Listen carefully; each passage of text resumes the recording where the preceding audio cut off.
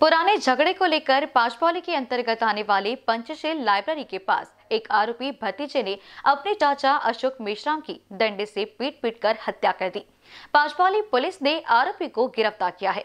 आगे की जाँच जारी है। आए दिन शहर में हत्याओं की घटनाएँ बढ़ रही है। ऐसी ही एक हत्या की वारदात पांचपौली पुलिस थाने के अंतर्गत आने वाले पंचशील लाइब्रेरी, पंचशील नगर में हुई है। मृतक का नाम 40 साल का अशोक मेश्राम है। जो परिसर के किसी मटन शॉप में काम करता था। कुछ दिन पहले अशोक और उसके भाई के बीच किसी बात को लेकर जमकर झगड़ा हुआ था, जिसमें अशोक ने अपने भाई की तोहिन कर दी। इस बात को लेकर अशोक के भतीजे में काफ़ी रोष व्याप्त था। इसलिए आरोपी भतीजे ने अशोक मेश्राम को सबक सिखाने के लिए रात के सवा दो बजे के दौरान हाथ में लकड़ी का डंडा लेकर सीधे अशोक की झोपड़ी में गया और डंडे से अशोक की पिटाई कर दी। इसमें अशोक की मृत्यु हो गई। सुबह पुलिस को जानकारी मिलते ही पांचपौली पुलिस अपने दल बल के साथ घटना स्थल पर पहुँची। लाश को पोस्टमार्टम के लिए अस्पताल रवाना किया गया।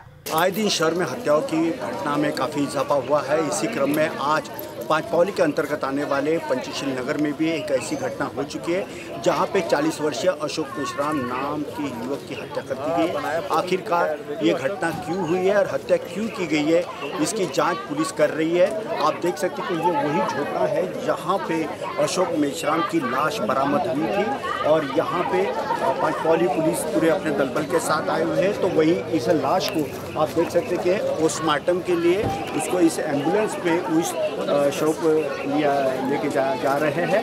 और लोग देख सकते हैं आपके कितने बड़े पैमाने पे यहाँ पे जो लोगों का हुजूम उमड़ चुका है तो वहीं दूसरी ओर उसके माँ का रो रो के हाल बुरा है। थोड़ा जहाँ पे अशोक करता था, आखिरकार ये घटना क्यों हुई, ये पता नहीं चल चल सका। लेकिन अशोक मेश्राम जिसकी हत्या हुई है, ये मृतक किसी मटन की दुकान में काम करता था, ऐसी जानकारी अब तक के मिली है।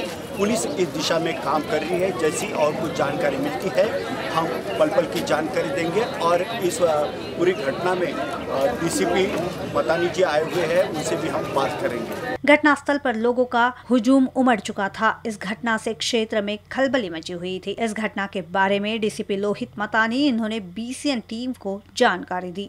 पाटपावली के अंतर्गत आने वाले पंचशील नगर में एक हत्या की घटना हुई थी। आखिरकार ये हत्या क्यों की गई है? इसके लिए आज हम डीसीपी लोहित मतानी साहब के पास में पहुँचे आइए उनसे जाना चाहिए मतानी साहब जिस प्रकार से ये जो हत्या हुई है क्या कहना चाहोगे कि ये क्यों घटना हुई है?